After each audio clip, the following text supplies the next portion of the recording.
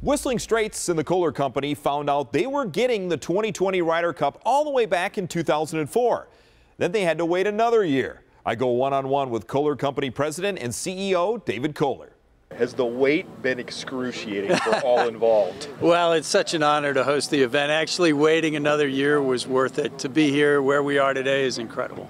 David, take us down the timeline. I remember being here at the press conference, and it was like, okay, 2010 PGA, 2015 PGA oh yeah, there's this little thing called the Ryder yeah. Cup. I think it was way back in 2005, if I'm not mistaken. Yeah, actually 2004, when we set up the relationship with the PGA of America for those three PGA championships, it also included the Ryder Cup at the end. So we've been thinking about that arc uh, ever since the beginning of it.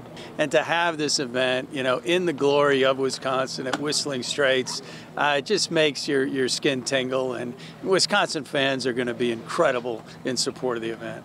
The structures built for the tournament, 2.6 million square feet, double the 2015 PGA Championship. This is the largest build, we think, probably in the history of the game of golf, building all of the chalets and stand on this property. So it's been amazing to see.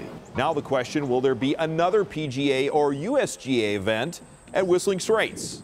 It includes all of the above. Everything and, and new options are, are certainly on the table. There's definitely going to be a future. We're in conversation with a number of different organizations right now.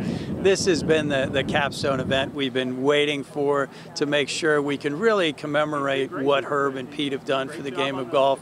But we are thinking beyond this, and, and we'll let the golf world and, and the entire world know as, as those plans come together in the next uh, few months and years. One thing is for certain, the course is in incredible shape and the world is waiting. Lance Allan, TMJ4 Sports.